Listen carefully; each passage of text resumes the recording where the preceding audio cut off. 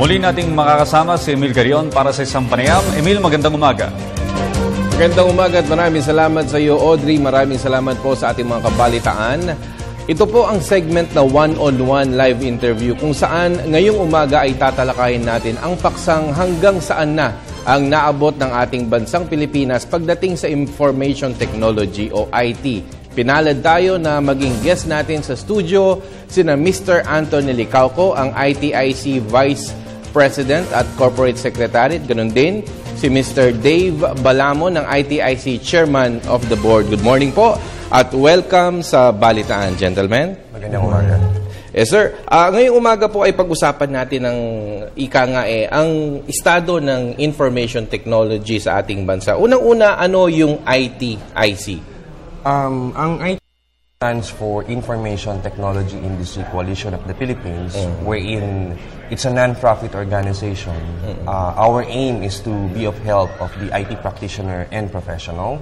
Uh, we have our advocacy to be of help to information technology uh, professionals. Ayun. Yan po si Mr. Anthony Licauco, ang ah, Vice President ng ITIC. Si Mr. Dave Balamon naman, ano yung ah, estado ng IT ah, ika nga eh, industry na nakikita ninyo ngayon sa ating bansa?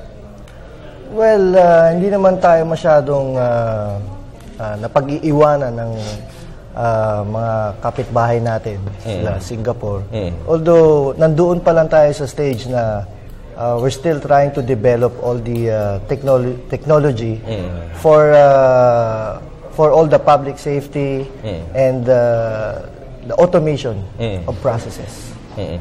Ah, parang napaka-high-tech ng dating, cyber world, automation. Ito ba ay talagang kapaki-pakinabang sa ating bansa? Ano yung evaluation niyo rito?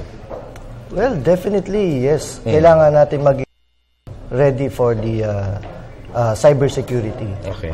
All of the other countries are preparing for this. So, kailangan din natin mag-prepare. Uh, eventually, uh, there will be some uh, cyber attacks. Dapat uh, ready tayo. So ito na, yung mga cyber attacks siguro, nandyan din yung mga setback, si Mr. Licao ko siguro. Ano yung mga setback na nakikita nyo rito? Well, ang setbacks natin dyan are, uh, kasi nagiging, yung quality nawawala na eh. So, hindi na quality yung uh, parang nagiging masyadong palengke na tayo, which is hindi dapat ganun. Okay. So, I, I think that's one of the setbacks. And, uh, well, information is very vital no? uh, to everyone naman. Oo. Si Mr. uh, Balamon naman, ano yung mga safety nets na pwede nating uh, ibigay sa ating mga kababayan para magkaroon sila ng security sa usaping IT? Well, in terms of public safety, uh, well, syempre si LGU, siya yung forefront of uh, the public safety. Uh, but again, si national government should have a backup plan. Uh, dapat siguro natuto na tayo with the uh, the Yolanda typhoon. Okay. So, in my opinion, dapat uh, maging prepared si LGU, not just having mga CCTV, mga all those kinds of technology. Dapat meron din tayong mga flood monitorings, how to respond better. Of course, sila LGU kasi right now, they, they have this mga votes, mga vests. But then again, kung darating ang disaster, how they will know kung sino yung mga dapat nilang unahin. Sino ba talaga yung mga affected? So, sino lang ba ang masasalba nila? But si yung mga taong nasa paligid lang nila, kung sino yung una nila makikita. So, there should be a technology that could uh, provide them the right information at the right time. Mm. At sa, uh, sa- eh, ka- kayo sa ITIC, meron kayong ganitong ah, software o background na pwedeng i-offer sa LGU or sa national government or sa community? Yes, actually, may mga solutions na for public safety. Okay. Uh, sa ITIC kasi, uh, we're a group of different IT companies. Okay. So, nag-share kami ng information, how to nagko-convene kami to discuss uh, what will be the future for public safety. Okay. So, uh, good thing naman, uh, we have a uh, solution for public safety. Of course, the LGU should know uh, how they should prepare Okay. or not just, you know, kasi parang ano yan eh, mga spare parts ng sasakyan. They tend to buy cheap solutions, cheap parts. Okay. In the end, in the long run, uh, it's uh, napamahal pa sila because of the uh, maintenance, the upgrades, everything, and it's not compatible with each other. There are solutions that is unified, integrated. So, yun ang pinakamaganda. You should have a, uh, a system that will provide you analytics. So, magkakaroon ka na ngayon ng mga planning for future uh, public safety. So, now you can discuss saan ba tayo dapat mag-focus sa mga crime ba o sa flood monitoring because every LGUs meron silang kanya-kanyang uh, problema. Okay? Ah, napag-usapan na natin ang ah, usaping ika nga eh, sa, sa larangan ng gobyerno, sa larangan ng safety, sa employment naman. Ah, nasa ang antas na tayo sa IT ah, na nagagamit sa trabaho. Halimbawa yung ah, call center ah, na ngayon eh worldwide eh kailangan ito. Anong antas na tayo at ano pang improvement ang pwedeng gawin?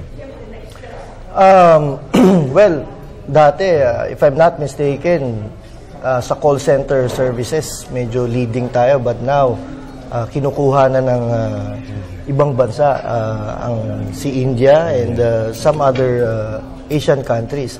Not because of uh, our lack of knowledge in the IT, but it's more on the uh, how how uh, these people address yung mga uh, problems ng mga customers. So, ang kailangan lang naman in terms of uh, training and uh, seminar, they should know how uh, how to address these problems uh, right away in a very fast way. Okay? Ang inyong pong mensahe, Mr. Dave Balamon, sa ating mga kabalitaan para naman meron silang ika nga eh, ah, food for thought para sa usaping IT sa ating ah, interview ngayon. Ang inyong pong message. Yes. Uh, wag tayong matakot sa IT. Uh, dalas kasi, especially the uh, the seniors, uh, they they tend to uh, shy away with the technology. Uh, dapat malaman nila how it could help the people and how they could be of good service to the people. Okay? Si Mr. Anthony Licao ko naman, ang inyong pong mensahe sa ating mga kabalitaan. Well, uh, we, we, we need to know no, uh, kung ano yung uh, information technology because uh, again, uh, may karapatan tayo para malaman yan. So, andito ang ITIC, handang tumulong sa mga IT practitioner and professionals if there would be questions or uh, kailangan natin ng mga uh, training or or uh, 101 uh, Seminars. seminars uh, pwede, pwede po tayo dyan. Okay, maraming salamat po sa inyong pagbisita sa Balitaan. Si Mr. Anthony Licauco at si Mr. Dave Balamon ng ITIC. Marami pa pong balita at talakayan sa pagpagpatuloy ng ating balitaan. Tumungo tayo kay Vivian.